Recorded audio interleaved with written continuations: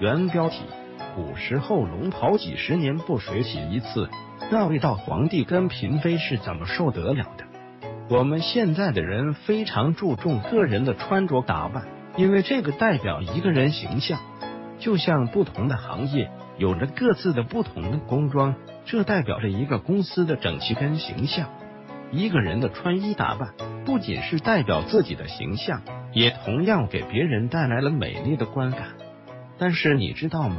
在我们中国的历史上，可是对人们的穿着有着非常严格的要求。就比如说，皇帝上朝的时候，皇帝是要穿着龙袍，大臣也要穿戴整齐官服才可以面圣。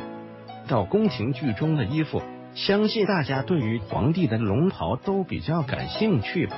而且在那个时候，要是绣一件龙袍，是需要耗费比较多的人力以及时间的。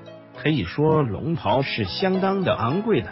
那么问题来了，如此昂贵的龙袍，有人去清洗吗？那如果皇帝的龙袍几十年都不洗，这样的味道，他们怎么忍受得了？接下来，小编就带大家了解下龙袍是怎么护理的。皇帝的龙袍是一种庄严不可侵犯的代表，也是皇帝上朝的朝服。皇帝的龙袍绣制上十分的有考究，大概是有将九条龙的图画绣在布料上，也便是说的龙袍。由于那个十分皇帝的身份代表着九五之尊，因此九五之尊飞龙在天的说法就直接要求在皇帝的龙袍上体现出来。所以看来，古代皇家是十分重视服饰方面上的谨慎。展开全文，对于皇上的衣服，因为皇上是比较尊贵的，龙袍也是有比较多的要求的，等级也是比较的森严的。如果说是有一个人偷偷的穿上龙袍，就会遭来杀生之罪。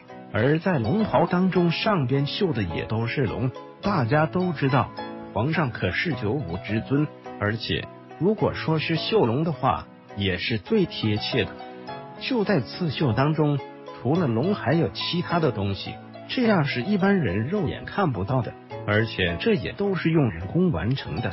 这也就要求秀女们在工作过程中有高度的注意力以及心思，不管是在材料当中的挑选，还是在设计当中，这些都不多，不可以出现一点的差错。这样能看得出龙袍是多么的珍贵，所以说，对于这么珍贵的龙袍的，不会轻易去洗的。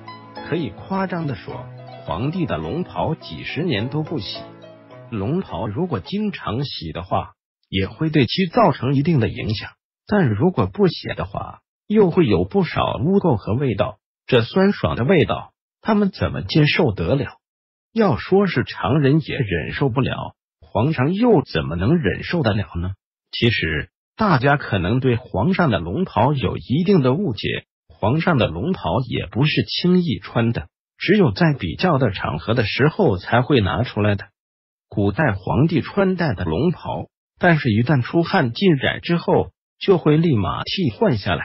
叮咛宫女拿到有香味的花房中晒干，是绝对不允许下水清洗的。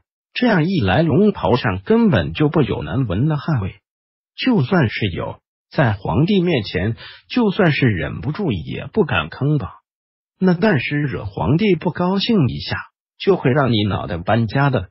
再有，皇帝也不是一直穿龙袍的，再加上那个十分的皇帝，也不会穷到只有这么一件龙袍的，肯定是有很多件的。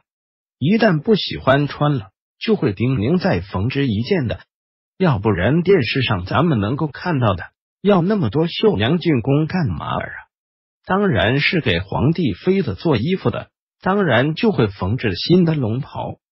返回搜狐查看更多责任编辑。